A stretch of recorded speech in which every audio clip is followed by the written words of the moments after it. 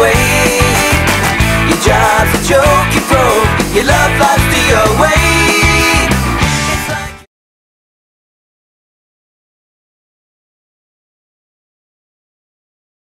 Hello, my name is Jacob Sartorius, and I'm here with. Jojo Siwa, and here are your announcements.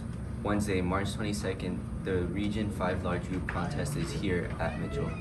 Thursday, All State Band goes to Sioux Falls. Did you know that the largest sandcastle in the world measured 54 feet high?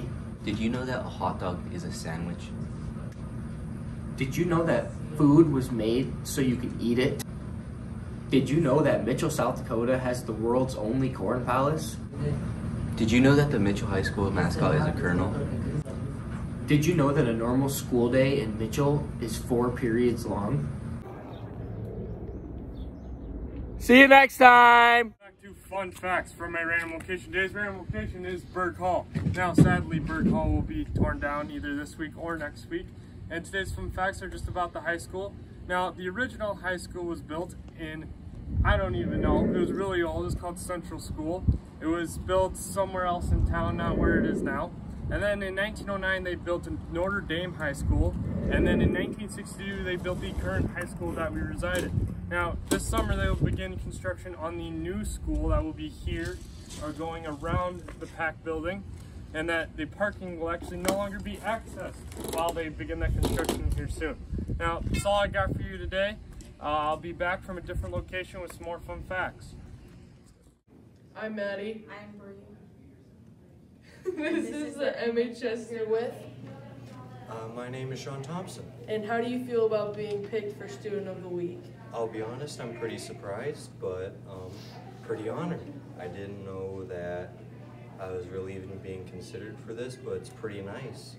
Um, but yeah, pretty much overall just honored. I'm here with. Mr. Lemon. And why did you choose Sean to be your Student of the Week? I chose Sean to be my student of the week because he has been working really, really hard. Uh, he really is focused and puts a lot of effort into his work every day and, uh, and has been really doing a really good job throughout the year. Perfect. Hello, I am Miranda Bradshaw and I'm here with. Wesley Gothier. What's the one drink you would recommend and why? Uh, tea because it's very healthy and it's full of nutrients and stuff. It's basically like water. All right, thank you so much. Thank you.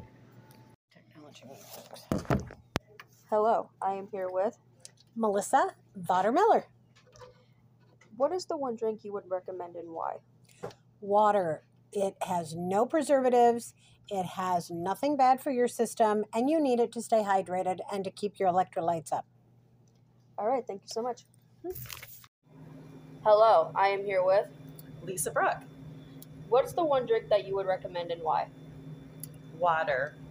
It's the only thing that is, you can get it for free and it's very refreshing. It'll quench your thirst. Okay, thank you so much. You're welcome. Hello, I am here with. Miss Klein. What's the one drink you would recommend and why? Um, I would recommend Diet Coke because it is just the best drink ever, and I've been obsessed with it since probably middle school. All right, thank you so much. Thank you.